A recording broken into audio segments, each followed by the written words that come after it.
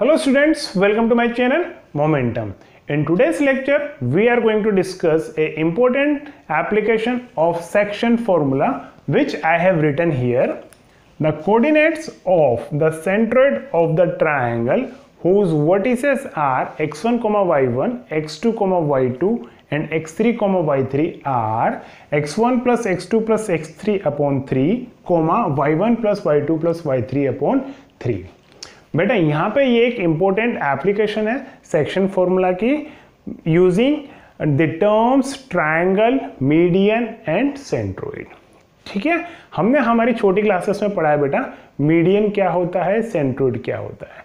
ठीक है? मीडियन की बात करें बेटा median is a line segment joining the mid point of a side of a triangle to the opposite vertex ठीक है? इस तरह से हमारे पास ट्राइंगल में थ्री मीडियंस होते हैं। All three medians intersect at a same point and that same point is called as centroid ठीक है? Also we know that centroid of a triangle divides the median in ratio two is to one ये सब हम बेटा हमारी छोटी classes में पढ़ चुके हैं और इनके ऊपर काफ़ी इंपॉर्टेंट रिजल्ट्स भी हम पढ़ चुके हैं। ठीक है? इवन नाइन्थ क्लास में इसके ऊपर हमने एक क्वेश्चन किया था बेटा prove that medians of a triangle are concurrent ठीक है? कहने का मतलब all three medians pass through a single point and that point is called as centroid ठीक है? सो अभी हम यहाँ पे बात करते हैं बेटा मीडियन बना के देखते हैं हम यहाँ पे मीडियन क्या होता है? एक छोटा सा रिकेप कर लेते हैं। ए बी सी एक ट्रायंगल है, ठीक है? ट्रायंगल के तीन साइड से तीनों साइड्स के क्या होंगे बेटा? मिड पॉइंट्स होंगे। ये मान लो ये एक मिड पॉइंट है, ये दूसरा मिड पॉइंट है, ये थर्ड मिड पॉइंट है। इनको हमने नाम दे दिया D E F so E mid point है बी सी का डी मिड पॉइंट है ए बी का और एफ़ मिड पॉइंट है ए सी का। कहना मतलब ये पार्ट और ये पार्ट बराबर है और A D equals to B D है और A F equals to C F है। तो जब हम कोई भी साइड के मिड पॉइंट को ऑपोजिट वर्टेक्स से ज्वाइन करते हैं तो that line segment is called as median ठीक है? तो यहाँ पे ए ई एक मीडियन है। Similarly we have B F एक दूसरा मीडियन है।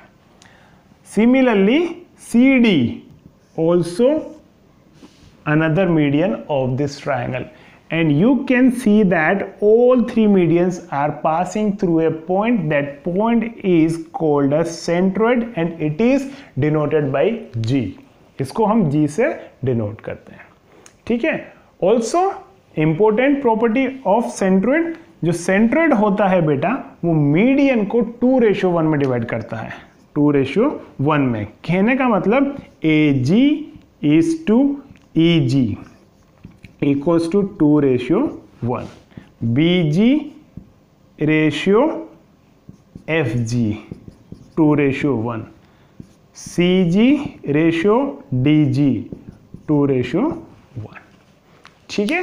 ये एक इंपॉर्टेंट रिलेशन है जो हमें अभी इस एप्लीकेशन के अंदर यूज़ करना है। ठीक है? हम मीडियन की प्रॉपर्टी यूज़ करेंगे। मीडियन से मतलब ये जो पॉइंट होता है मिड पॉइंट होता है। और सेंट्रोइड की प्रॉपर्टी यूज़ करेंगे कि वो मीडियन को टू रेशियो वन में डिवाइड करता है। ठीक है? I hope it is clear so let's start this application और हम इस रिज़ल्ट को प्रूफ करेंगे बेटा। एग्ज़ाम में कई बार ये क्वेश्चन आ भी जाता है। Prove that the coordinates of centroid are x1 plus x2 plus x3 upon three and y1 plus y2 plus y3 upon three यही एप्लीकेशन एज ए प्रूव में आ जाती है। ठीक है? सो so, देखिए मैं यहाँ पे एक ट्रायंगल बनाता हूँ। इसको नाम दे दिया हमने ए बी सी और इसके कोऑर्डिनेट्स ये x3 three comma y three ये x2 to comma Y two और ये x1 one comma y one ठीक है?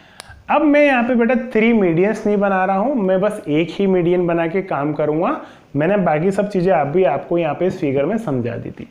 हम एक मीडियन बना लेते हैं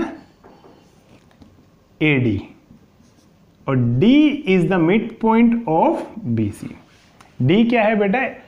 Is the mid point of B C ठीक है? अब ए डी के ऊपर कहीं ना कहीं सेंट्रोइड आएगा। Let call this point as G ठीक है? एडी के ऊपर कहीं ना कहीं सेंट्रोइड आएगा। अभी हमने देखा था all three medians are intersecting at a point तो वो जो पॉइंट था वो एडी के ऊपर भी आ रहा था। ठीक है? आ, मतलब इस वाले मीडियम पे भी आ रहा था इस मीडियम पे भी आ रहा था और इस मीडियम पे भी आ रहा था। ठीक है? और जो सेंट्रोइड होता है वो मीडियन को टू रेशियो वन में डिवाइड करता है। और हमें क्या करना है बेटा? इस सेंट्रोइड के कोऑर्डिनेट्स प्रूव करने हैं कि वो ये है। ठीक है? तो सबसे पहला काम तो हम क्या करेंगे बेटा? इस डी के कोऑर्डिनेट निकालेंगे। D is a mid point of B C ठीक है? बी एंड सी के बी सी जो लाइन सेगमेंट है बी सी जो साइड है, इसका मिड पॉइंट कौन है? डी और मिड पॉइंट के कोऑर्डिनेट्स हम निकाल सकते हैं, ठीक है? फिर हम क्या करेंगे? सेक्शन फॉर्मूला का यूज़ करके ए और डी के ऊपर ए और डी के ऊपर सेक्शन फॉर्मूला का यूज़ करके ratio two is to one को यूज़ करके हम जी के कोऑर्डिनेट्स निकाल लेंगे। ठीक है? सो लेट्स स्टार्ट ये A B C X one Y one ये सब मैंने यहाँ लैंग्वेज भी नहीं लिखा। आप लिखिएगा। डी मिड पॉइंट है। ये भी आप लिख लीजिएगा। ठीक है? सो सॉल्यूशन की बात करते हैं। Since D is the mid point of BC therefore, D के कोऑर्डिनेट्स हो जाएँगे बेटा x2 two plus X three upon two comma Y two plus Y three upon ठीक है? Also we know that centroid divides median in ratio 2 is to 1 therefore AG is to DG equals to 2 ratio 1 बेटा, इसमें ध्यान रखना कि to किस side आएगा? One किस साइड आएगा? जो टू आएगा बेटा, जो वन और टू में जो बड़ा नंबर टू है, ये टू आएगा बेटा टू वर्ड्स द वर्टेक्स ऐसे ही यहाँ पे अगर मैं मीडियन बनाऊँ बी ई मान लो यहाँ पे ई मिड पॉइंट हो ए सी का तो बी ई e अगर हम मीडियन बनाए तो जी बी ई को बी टू रेशो वन में डिवाइड करेगा तो टू हम किस साइड लिखेंगे बेटा? Towards this vertex B तो टू और इधर वन ठीक है? अब A G is two G D आ गया हमारे पास बेटा two ratio one now using section formula on A D now using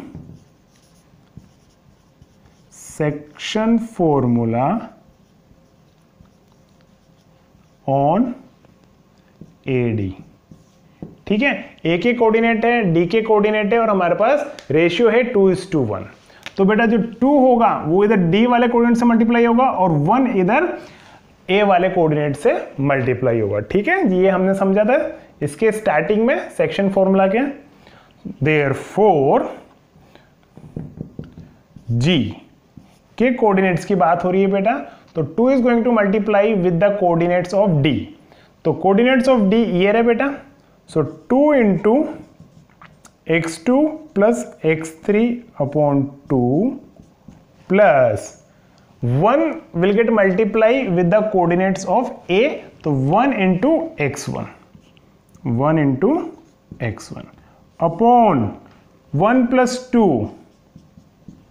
comma ये तो होगी बेटा x कोऑर्डिनेट की बात अब y कोऑर्डिनेट की बात करेंगे so two will multiply y coordinate of d तो 2 into Y two plus Y three upon two plus one will multiply with Y one.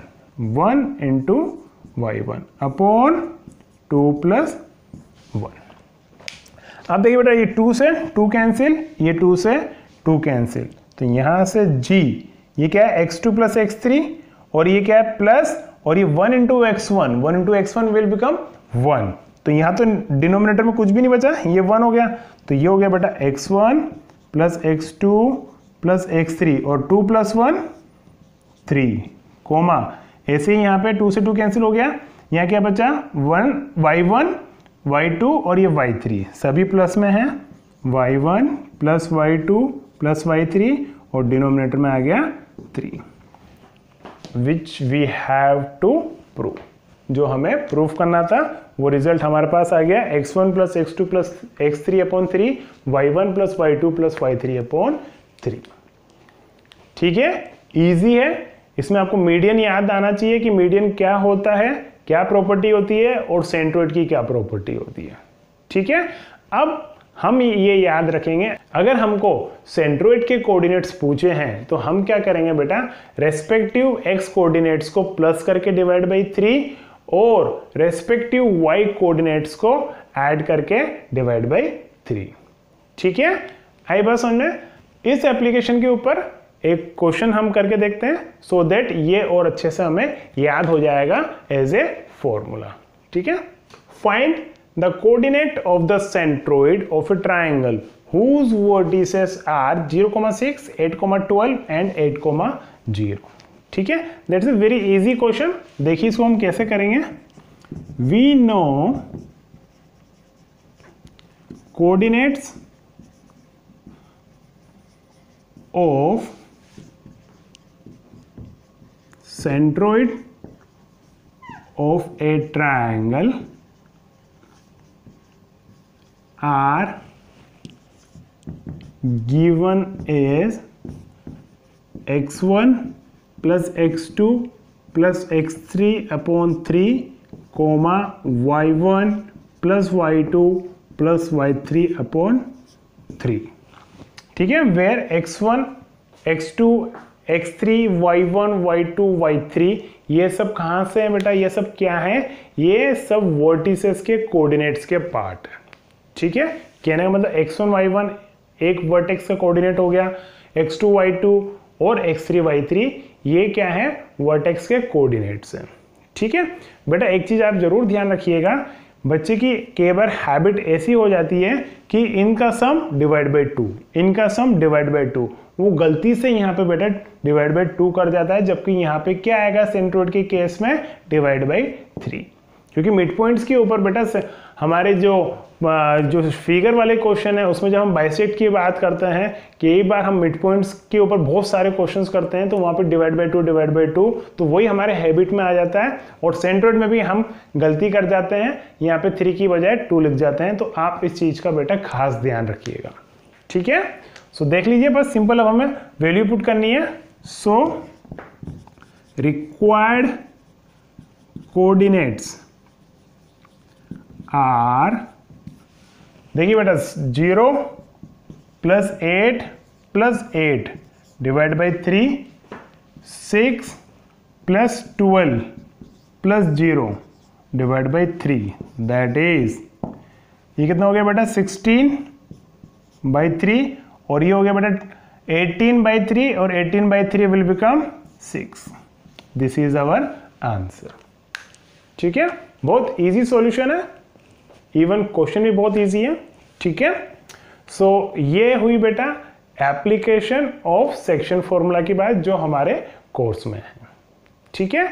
So by this lecture by this topic our concept of section formula is over ठीक है? आप अपनी side से और questions की practice करते रहिए ठीक है? आई होप आपको कोई भी डाउट नहीं आएगा। In case if you have any doubt you are very free to ask me ठीक है? नेक्स्ट क्लास में हम न्यू कॉन्सेप्ट न्यू टॉपिक की बात करेंगे. That is our final topic of this chapter that is area of triangle ठीक है? So Thank you so much for watching the video and bye.